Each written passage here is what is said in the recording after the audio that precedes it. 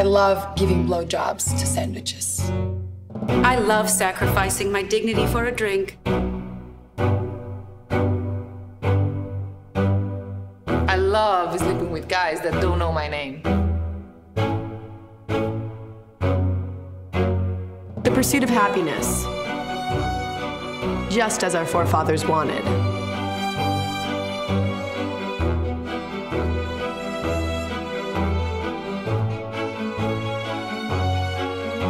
I hope when my daughter grows up that she has friends just like these. The key to my heart? A man that smells like a vagina.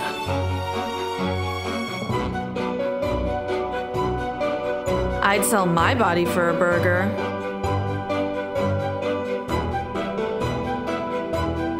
Nothing makes me hotter than watching a guy get his head blown off.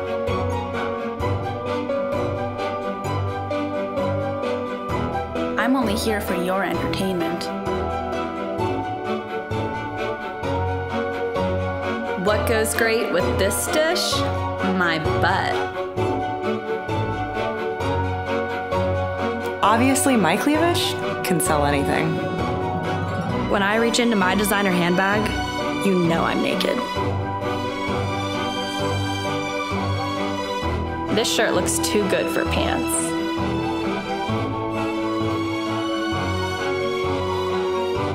Peekaboo. Like what you see?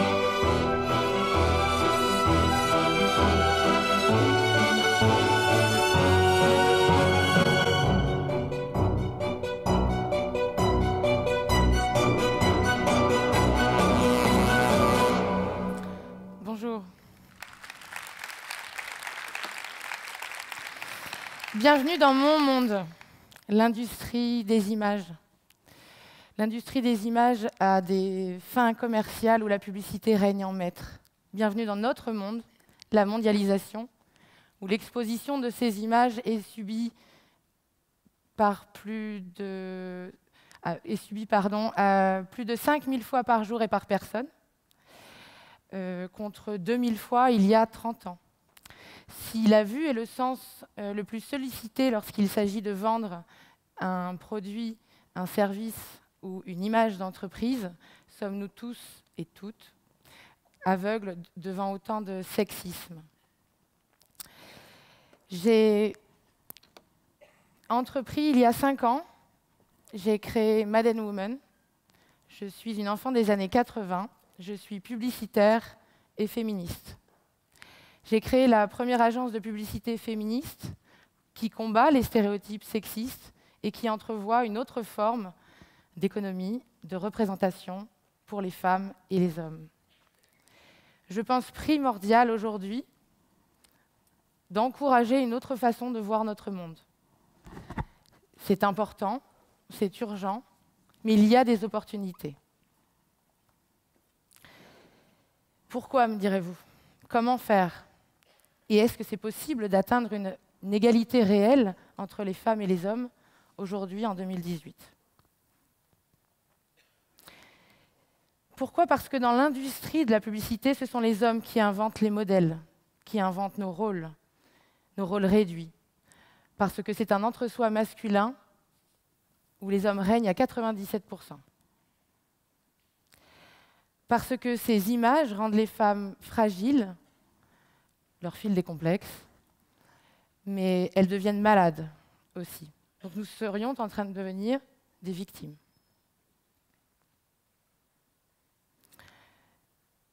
Alors que les hommes dans la publicité, eux, à 82%, sont experts. Si demain, en France et partout dans le monde, les femmes arrêtaient de consommer, c'est toute l'économie mondiale qui tomberait. 85% des femmes influencent le monde. Prendre conscience de ce pouvoir économique, c'est faire un premier pas. C'est un pouvoir. Mais nous pouvons aussi s'inscrire dans une dynamique du vouloir et ainsi proposer d'autres scénarios où nos désirs et nos actions seraient respectés. Le féminisme peut-il équilibrer défini définitivement notre monde? Moi, je, je, suis convaincue que oui. L'idée derrière et la question qu'on a à se poser, c'est est-ce que le capitalisme peut entrevoir d'autres possibles et une autre reconstruction où les femmes auraient les pleins pouvoirs, bien plus que euh, la seule euh, satisfaction par des biens de consommation. Si on revient à Simone de Beauvoir et au deuxième sexe, elle a compris la nécessité de changer l'ordre où les femmes seraient enchaînées à leur, à leur fin économique et à leur désir sexuel. Sortir la femme de son rôle de victime et de mégère aussi. C'était sa raison d'être. Et nous devons l'honorer aujourd'hui. Mais malheureusement, nous sommes toujours là, à cette même place, dans cette perpétuation de l'ordre du capitalisme où nos désirs sont entravés. Mais si le mot le plus tapé sur Google en 2017 aux USA est féminisme, si le 16 janvier dernier, 28 marques se sont organisées, rassemblées pour signer une charte, contre le sexisme dans la publicité, sommes-nous à une autre étape? Comment peut-on s'assurer que ce n'est pas une tendance, un alibi ou un effet de mode, et que ce soit suivi de preuves, d'actes et de faits tangibles?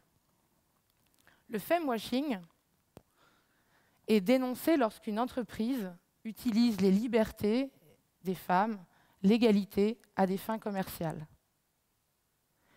Le femvertising serait une autre façon d'encourager la publicité avec des actes sincères ou des preuves, comme l'égalité salariale, comme les congés parentaux, peuvent accompagner une transition femme-homme réelle. Nous avons un rôle à jouer, tous, entreprises, communicants. Une marque a une empreinte sociale, sa représentation a un impact mondial. Sheryl Sandberg le citait, d'autres femmes le citent chaque jour. Il est important de construire un nouveau modèle où nous aurions plus de liberté et où aussi nous pourrions avoir plus de droits. À l'échelle du temps, en fait, c'est assez court. On a la sensation que beaucoup, beaucoup de publicités utilisent le féminisme à des fins marketing. En 2003 seulement, les politiques gouvernementales et étatiques ont commencé des communications où on dénonçait les violences conjugales et les violences domestiques. En 2006, Dove présente sa première campagne pour dénoncer les dérives de Photoshop en matière de communication. En 2013, Dove encore innove pour considérer la beauté plus authentique. En 2014, c'est Always, une marque de protection hygiénique, avec Like a Girl, que vous connaissez certainement. Et en 2017 seulement, l'interdiction des publicités sexistes avec un partenariat avec JC Deco à Paris. Et le, 10, le 16 janvier dernier, 28 annonceurs s'engagent. Donc il y a peu de temps et peu de, peu de discours qui s'accompagnent de preuves, c'est certain. Mais on peut envisager autre chose. Moi, je suis née dans les années 80, mais j'ai créé l'agence en 2012. Et en 2017, on a vécu une libération incroyable de la parole des femmes. Toutes et tous, nous pouvons faire du féminisme une, autre représentation et surtout d'autres mécanismes. On est toutes dans nos jobs, toutes en sororité, et, à travers nos sphères personnelles et nos, et nos sphères professionnelles, on se rallie. 2017 a marqué un tournant historique, et on ne pourra pas reculer. Nous pouvons agir. Et dans ce principe d'action même, nous pouvons imaginer d'autres modèles. Ici, c'est un index qui représente les typologies représentatives, mais la façon dont les femmes sont mises en scène dans les publicités. Du rouge, orange, orange clair, jaune, vert et bleu, la façon dont elles sont objectivées. On dira qu'en rouge, c'est la façon dont elles sont objectivées sexuellement et où il y a les publicités les plus sexistes et les plus dures. En orange, là où il y a des actions qui sont menées pour que ça change. En jaune, c'est là, où, là où on est au milieu du guet. Le jaune, c'est exactement l'endroit où on ne sait plus faire la différence parce que nos perceptions sont biaisées. Et en vert, des propositions encourageantes. Et en bleu, un phénomène très rare. Si on rééquilibre avec des chiffres, avec des analyses et avec aussi euh, toutes, les, toutes les formes de militantisme et de possibilités que l'on a de concourir à des plaintes, il s'avère qu'il y a encore en 2017, très récemment, beaucoup de publicités sexistes et beaucoup de publicités qui objectivent les femmes. C'est très lourd à porter et c'est euh, malheureusement des facteurs psychosociaux dramatiques sur la construction euh, de l'imaginaire des petites filles et des femmes aujourd'hui. C'est compliqué à bousculer, c'est vrai. Malgré tout, on note qu'il y a des actions et qu'il y a des phénomènes qui nous permettent de penser que ça se rééquilibre. Si aujourd'hui, le féminisme est une articulation qui permet d'atteindre l'égalité réelle entre les femmes et les hommes, il est à célébrer. S'il y a de plus en plus de femmes, de filles, de sœurs, de, toutes femmes qui, qui sont représentées dans les publicités, c'est mieux. Je vous rappelle que les hommes sont davantage représentés dans les publicités, donc il faut évidemment qu'on rééquilibre et qu'on ait, nous aussi, plus de, plus de place dans la publicité. Malgré tout, il faut plusieurs formes de représentation des femmes et il ne faut pas que ce soit à des fins commerciales, mercantiles, qui n'aient aucun lien avec la stratégie de l'entreprise. Dans la sphère jaune, il y a aujourd'hui, euh, quand on ne sait plus bien faire la différence entre des campagnes qui euh, soient des alibis ou des campagnes qui fassent de la discrimination positive, il y a des sites internet, des collectifs qui se manifestent pour donner des clés de lecture à ce phénomène récent. Ce phénomène, il date de 2-3 mois et les médias en parlent beaucoup et nous surveillons évidemment euh, cela à l'agence et avec euh, différents collectifs que nous incubons. Il y a des, métriques et des mesures d'analyse pour comprendre si c'est louable ou non. Mais de toute manière, on, pourra voir ça sur le temps. Il y a des cycles, des cycles courts et des cycles longs le cycle que l'on est en train de vivre est, très lourd à porter. Et c'est un cycle avec beaucoup de tensions qui va faire naître certainement des erreurs. Mais quand bien même il y a des erreurs, c'est une forme d'entrisme. C'est aussi une manière d'accompagner plus de représentation féminine dans la publicité. Pour faire la différence avec des campagnes qui utiliseraient le femwashing, des campagnes qui seraient des, marques ou des, et, des entreprises qui seraient euh, malheureusement peu soucieuses de la liberté des droits fondamentaux des femmes, il faut qu'elles soient encouragées avec d'autres entreprises, d'autres preuves et d'autres discours qui vont beaucoup plus loin et qui accompagnent des preuves réelles de changement. Et là, nous le verrons, c'est en vert et en bleu. Si on prend la première catégorie, on en a tous en tête. Et le premier film vous l'a démontré. Mais très récemment, c'était Saint-Laurent. Saint-Laurent a reçu 2000 plaintes et au bout d'une semaine, Saint-Laurent a retiré sa campagne de publicité. Donc nous pouvons déposer des plaintes et nous pouvons agir. Malgré tout, c'est la marque Saint-Laurent, c'est au niveau mondial et c'est une campagne des plus sexistes. Mais il y a aussi des campagnes où il est plus difficile de déceler si c'est cool, la représentation qui est faite euh, des femmes à l'intérieur de, ces messages ou si c'est très grave. Je vous passe un spot qui est, qui est un spot d'octobre 2017, donc qui est encore très récent et qui, selon nous, objective cruellement les femmes.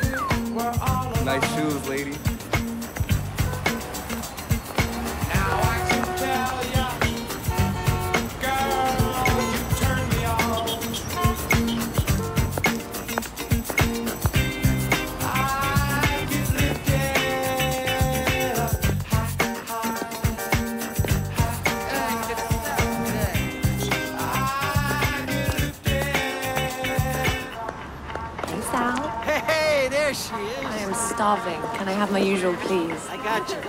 Absolutely. Yes. Here you go. You're a beautiful man. Have a good night, Sam. Take care. Have a good night. Hey, great shoes.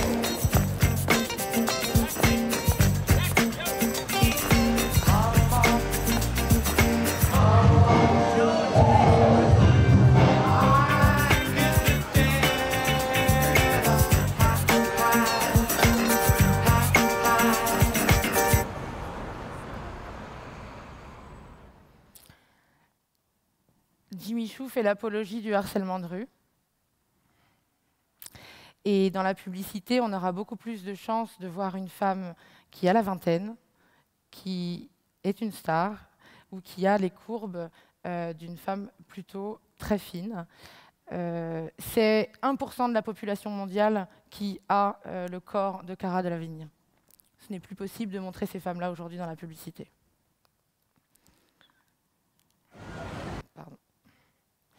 Ensuite, d'autres publicités qui sont euh, stéréotypées et des publicités qui sont réductrices, là où la femme a une place basse par rapport à, à un homme qui a une place haute. On dira que les fonctions ne sont pas les mêmes et les rôles non plus. Je vous propose d'autres publicités qui sont des publicités françaises que vous connaissez. Renault est une des marques qui a signé un engagement le 16 janvier dernier. Renault a utilisé un double cliché, le cliché de la femme qui ne sait pas conduire, pour laquelle on va évidemment euh, concevoir un produit, un accessoire pour qu'elle évite d'abîmer sa voiture. C'est un vernis. Et comme les femmes sont beaucoup plus intéressées à la cosmétique qu'à la voiture, on a créé la Twingo à la couleur du vernis. En ville, les rayures sont inévitables. Nous avons donc créé un produit unique. Renault présente Twingo Nail Polish. Des vernis assortis à la couleur de votre Twingo. Qui permettent aussi de retoucher les rayures. Sublimez vos ongles et votre voiture. Twingo Nail Polish.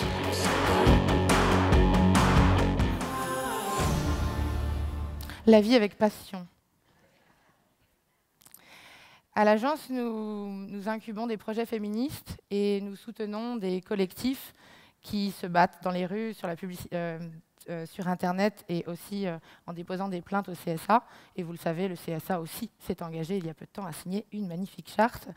Cette campagne, qui était sur tous nos écrans, grâce à, des projets d'incubation comme, comme ceux que l'on a, mais ceux que vous pouvez aussi faire demain, permettent en, en 10 jours de supprimer une campagne de publicité qui investit des millions et qui donnerait à croire aux jeunes filles que le vernis chez Renault est une bonne occasion d'acheter une voiture. Euh, Est-ce que ça marche Ah, ça marche plus. Si. C'est pas moi. Euh, voilà, donc vous voyez, la courbe des couleurs change un petit peu. On était dans une logique très stéréotypée, on va être dans une logique réductrice. Euh, et là, c'est Habitat. On- beaucoup d'entre nous euh, vont euh, chez Habitat, malgré tout, leur spot de publicité objective encore la femme, pas sexuellement, mais vous allez le découvrir de manière tout à fait euh, inefficace. Mais c'est déplorable. On objective la femme, pourquoi? Parce qu'on lui donne le prénom d'une assiette et euh, l'homme, lui, à table, euh, choisit sa maîtresse. Hier, j'ai dîné avec Clara. Et avant-hier aussi. Elle est jalouse, mais c'est normal. Clara est jolie, séduisante, fragile, un peu ronde. Mais c'est comme ça que je les aime. Je te sers Non, on ne salit pas Clara. Habitat, le design est notre ami. Alors, au-delà du fait que cette campagne n'est absolument pas réussie, qu'elle est totalement navrante et totalement débile, on est quand même en train d'instrumentaliser la femme, euh, de l'objectiver comme une assiette.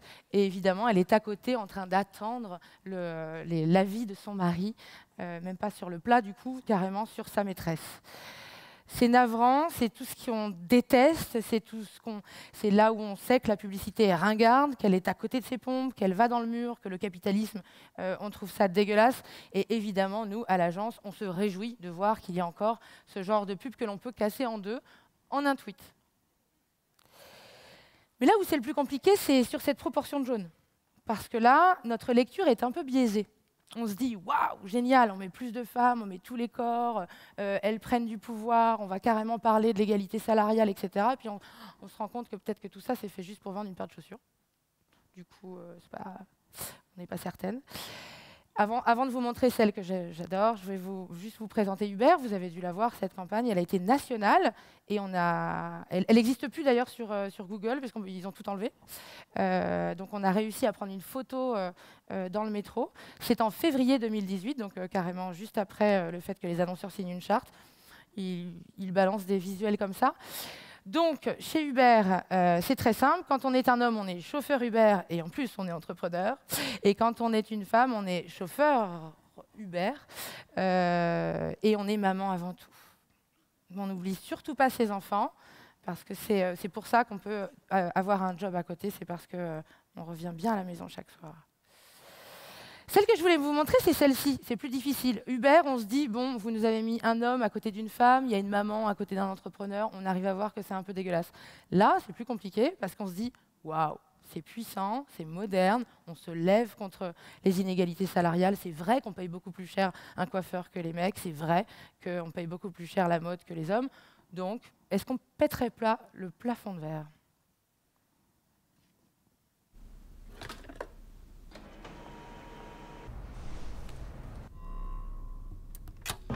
Listen up. There's still not equal pay for equal work anywhere in the world. And it seems most women are not even angry about it. But we should be. So let's set a new goal. From now on, equal pay is no longer enough. Because women need more. Our haircuts are more expensive. Our underwear is ridiculously more expensive. It's simply more expensive to be a woman than to be a man. Should we seriously get paid less than someone who applies body lotion to his face? He doesn't need a new outfit for every new occasion. He doesn't even know that the shoes make the outfit. Oh, the joy of choosing the right shoe. Fashion is expressing yourself. And what every stylish woman is expressing is that equal pay is not enough. Equal pay is not enough.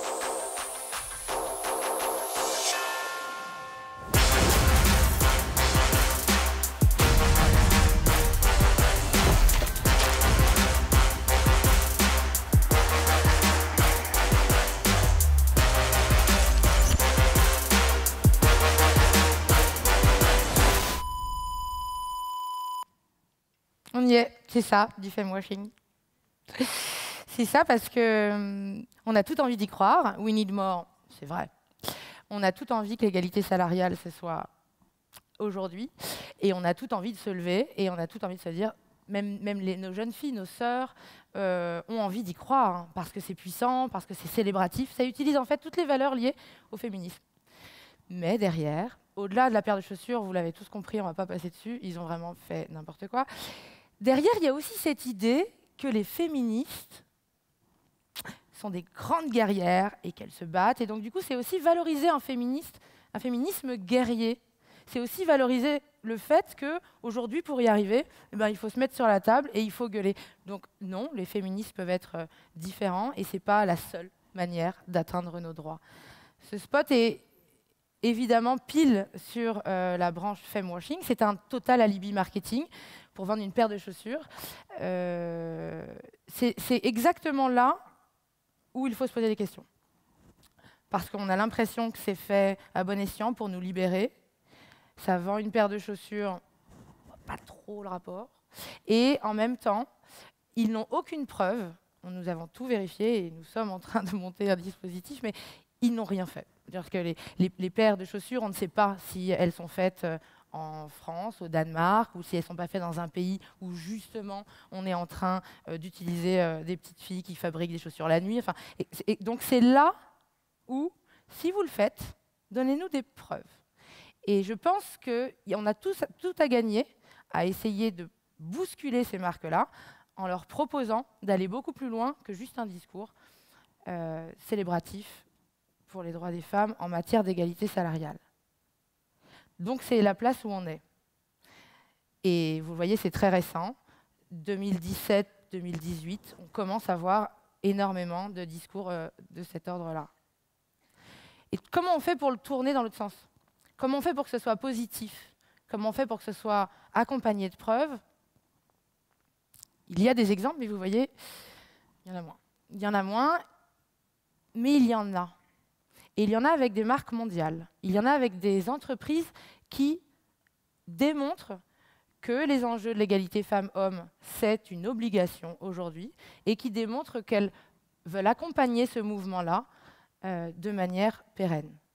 De qui parle-t-on? Dior. Normalement, on m'attaque à ce moment-là, mais non. Euh, oui, Dior, Dior a utilisé mes 68. Donc là, on n'y croit pas, évidemment, et on se dit non, c'est de la récup. Mais souvenez-vous, c'était hier, le 22 mars. Euh, souvenez-vous de ce mouvement positif, célébratif, et ce mouvement de droit fondamental, euh, qui, en effet, est une forme de récupération de Dior. Mais Dior est une entreprise de création.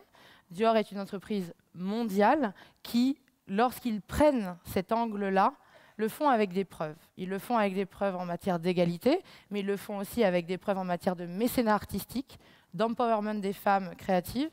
Et si sur un t-shirt à 550 euros, je sais, mais bon, il y en a qui ont les moyens de payer des t-shirts à 550, 550 euros, pourquoi pas le faire?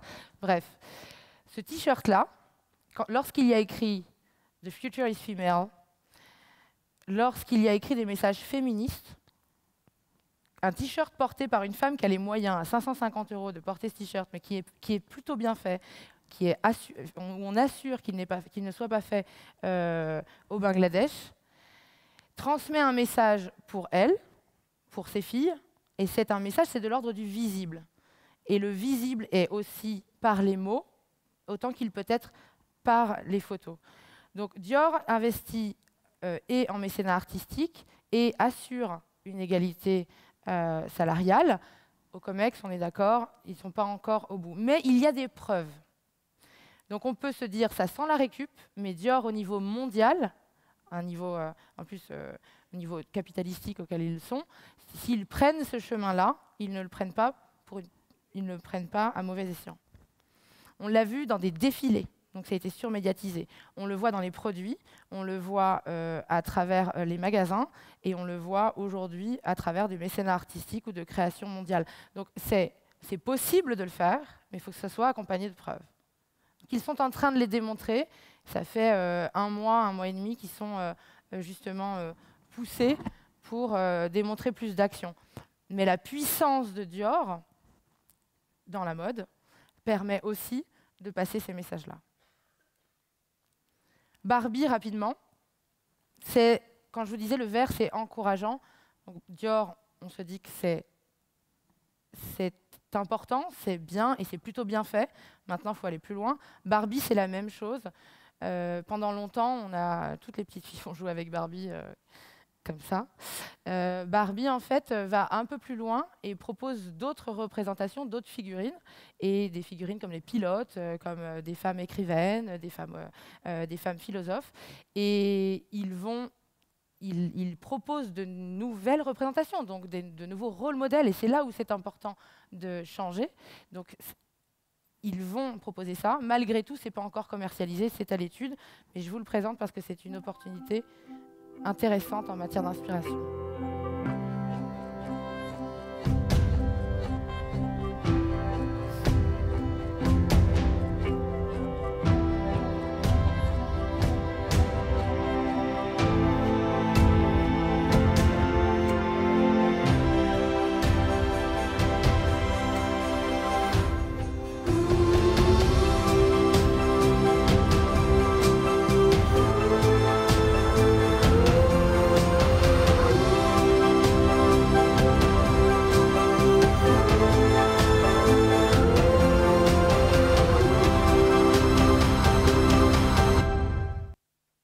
Il faudrait qu'il n'y ait plus jamais de Barbie comme on a connu. Et il faudrait qu'il y ait toutes ces Barbies-là euh, demain en vente partout dans le monde. Donc ça demande évidemment un process de production différent, ça demande évidemment euh, un, un, un, process de distribution différent. Ils sont au milieu du guet. Soit ils tombent dans un à peu près, soit ils encouragent réellement euh, le changement. Audi, on sait tous que les femmes ne savent pas conduire, on l'avait vu avec Renault. Euh, on sait tous que euh, notre, apprentissage de la voiture vient, euh, euh, vient par nous-mêmes et, et, pas par notre père ou notre mère. Et les petites filles concourent très rarement à des activités sportives masculines comme les sports mécaniques. Audi démontre que non. Et Audi euh, Drive for Progress, donc avant sur les questions euh, d'égalité salariale. Ils ont été topés récemment, donc ça veut dire qu'ils ont engagé un spot et une communication globale pertinente que je vais vous présenter. Néanmoins, ils doivent aujourd'hui euh, accompagner beaucoup plus de preuves et, ils, et ils sont sur le point de les démontrer. What do I tell my daughter? Do I tell her that her grandpa's worth more than her grandma? That her dad is worth more than her mom? Do I tell her that despite her education, her drive, her skills, her intelligence, she will automatically be valued as less than every man she ever meets?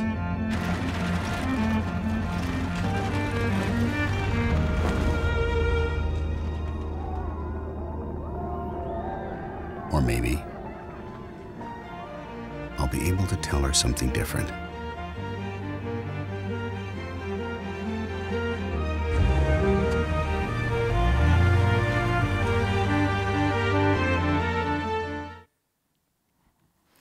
Donc, en fait, je reviens, c'était parce qu'il n'y a pas assez de femmes au COMEX euh, qu'ils ont été topés. Mais l'égalité salariale, euh, ils donnent les chiffres, sinon ils ne se permettraient pas ce spot. Euh, ce spot-là est encourageant. On voit très peu de jeunes filles euh, qui font des sports mécaniques. Donc, c'est la question des rôles modèles qui est importante et la question donc, du coup des représentations. Comme les femmes sont moins représentées et que les hommes sont experts, si on encourage les jeunes filles à devenir expertes dans ces, euh, ces univers-là, c'est quand même une avancée. Et le dernier point, c'est le femvertising. Qu'est-ce qui réellement a créé une différence? Qu'est-ce qui, Quels sont les spots, les marques ou les entreprises qui créent des disruptions sur leur marché, qui, au-delà même de la communication, assument pleinement euh, les droits des femmes Deux spots. Nike.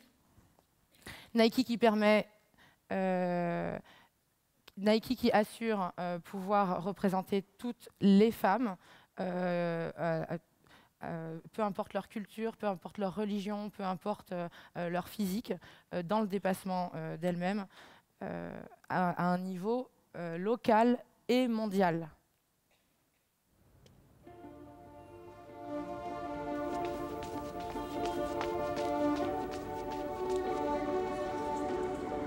ايش حيقولوا عنك؟ انك مو المفروض تكوني هنا انه ده مو ليكي انه دي ما هي لعبتك؟ أو يمكن يقولوا إنك قوية. إنه ما حد يقدر يوقفك. إنك حتلاقي طريقك.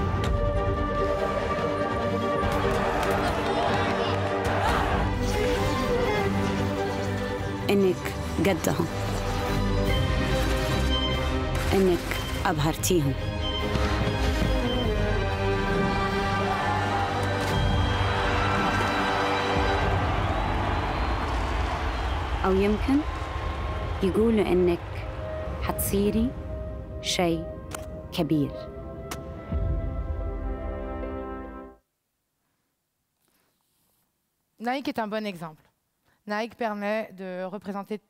toutes les femmes à tous les âges. Et comme Nike vend du dépassement de soi, parce que c'est un, équipement, sportif, les hommes et les femmes euh, euh, euh, peuvent démontrer chaque jour une certaine forme de dépassement de soi.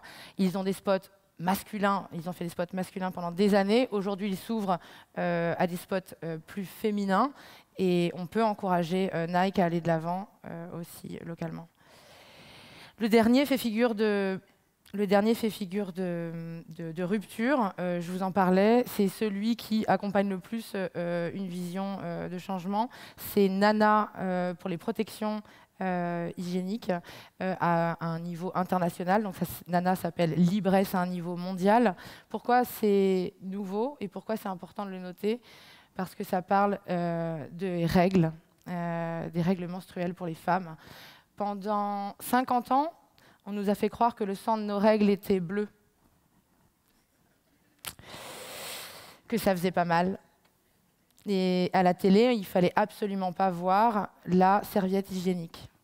Et c'est une industrie mondiale qui a euh, mis en scène euh, le sang bleu de nos règles et on a toutes été surprises en découvrant qu'il n'était pas bleu.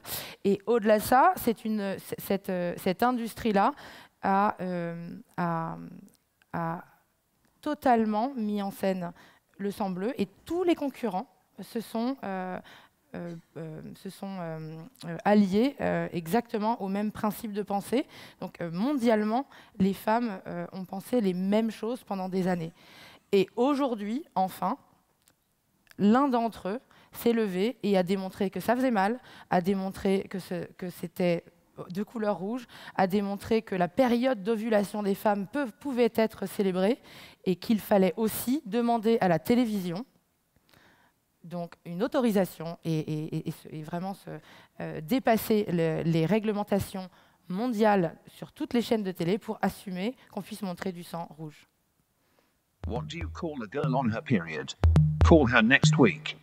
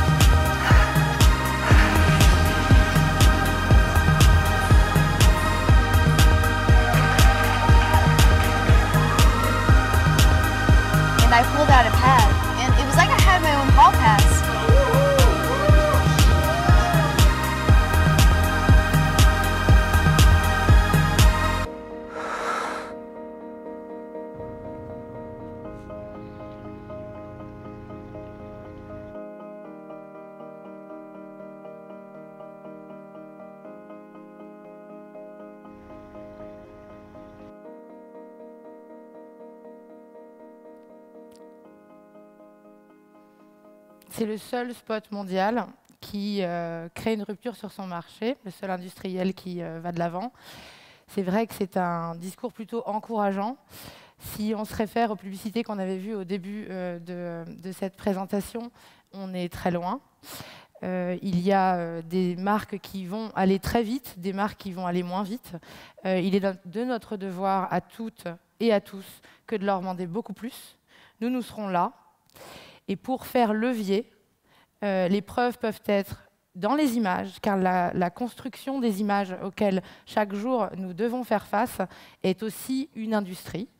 Les retouches, euh, les choix des mannequins comme euh, le nombre de personnes utilisées dans une publicité peut faire levier. De la même manière que des discours. Lorsque sur Nike, euh, on, lit une voix off de femmes qui euh, peuvent aller de l'avant et qui démontrent euh, ce qu'elles ressent- ressentent, c'est aussi un choix de rendre visibles les mots, les paroles des femmes. Et enfin, les preuves. Vous, comme nous, nous devons avancer avec des preuves. C'est à nous de les choisir. Nous pouvons avoir des preuves de l'ordre de- du droit français ou du droit international, mais nous pouvons, et les respecter, mais nous pouvons aussi penser les preuves de demain. Nous pouvons aussi nous dire que nos entreprises, sociétalement, pourront être notées. Nous pouvons aussi nous dire euh, que aller plus loin, c'est s'autoriser un saut, s'autoriser de dépasser euh, sa propre activité pour penser la preuve de demain qui créera un précédent en termes de, en termes de droits des femmes. Et pour conclure, aujourd'hui, les publicitaires s'excusent. C'est très récent, c'était euh, deux jours avant la, la- journée internationale des droits des femmes, qui devient pour beaucoup euh, euh, la journée de la femme. Les publicitaires se sont mis à s'excuser. Je ne vais pas vous passer le spot, mais je pourrais vous le passer euh, euh, une autre fois où vous l'envoyez. Vous le retrouverez sur le site de l'agence. Nous, on rigole beaucoup parce qu'enfin, ils, se mettent à- ils se mettent à repenser un peu euh, l'industrie euh, globale. Euh, maintenant, on est en 2018. Euh, donc du coup, euh, il va falloir créer un nouveau monde. Il va falloir euh, le créer avec davantage de respect et de preuves. Un schéma juste pour ceux qui travaillent à la tête d'organisation en communication, en RH ou aussi en mécénat et en politique RSE.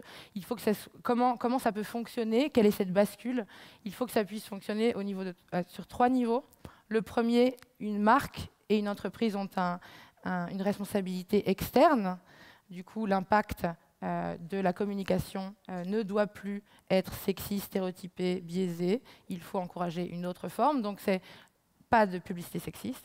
Le deuxième niveau, c'est évidemment l'interne. Si on a une politique RH qui est saine, si les salaires sont euh, payés normalement entre les hommes et les femmes, ça peut faire levier pour une communication externe. Et ensuite, c'est la social contribution.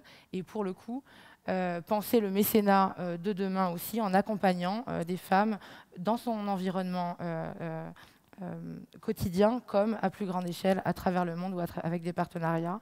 C'est ce que je vous disais. Une marque, c'est une entreprise qui a une responsabilité sociale, son impact culturel et mondial.